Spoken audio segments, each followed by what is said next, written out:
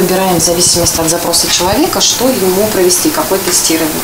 А, Самое популярное – это тестирование по Холланду по профориентации и ДДО. Администратор, техник, ассистент, садовник – ребята выбирают направление по интересам. Тест на мультипсихометре и арт-тестирование помогают подросткам определить, какая профессия им могла бы подойти. Мы также ходим в школу. Во-первых, профориентация – это такой, такая проблема, с которой сталкиваются практически все выпускники. Потому что все знают те специальности, с которыми сталкиваются ежедневно. Да? Мы приходим в магазин, видим те специальности, которые есть. Дети с детства видят, что в школе, в садике какие специальности есть, но не знают, какие вообще есть специальности в целом. Ну и также они не знают вообще, к чему есть склонности.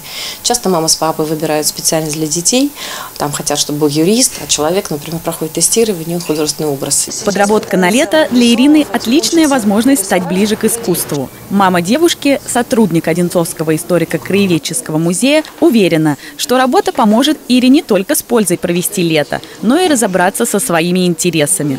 Она заинтересовалась этим именно из-за того, что приезжала ко мне на работу и смотрела, что здесь происходит, и ей стало интересно тоже поработать и ну, немножко поглубже вникнуть. Тем более, что так она изучает историю постепенно, слушая, вот она ходит вместе с экскурсоводами. Я смотрю, чтобы посетители надевали маски из-за ситуации в стране, э, чтобы не трогали экспонаты и чтобы все было э, нормально.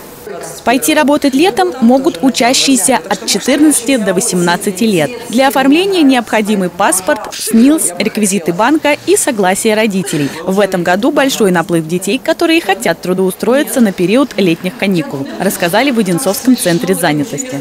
На данный момент у нас было трудоустроено 457 учащихся. Из них в трудовые бригады трудоустроены 414 и на предприятие 41 учащийся.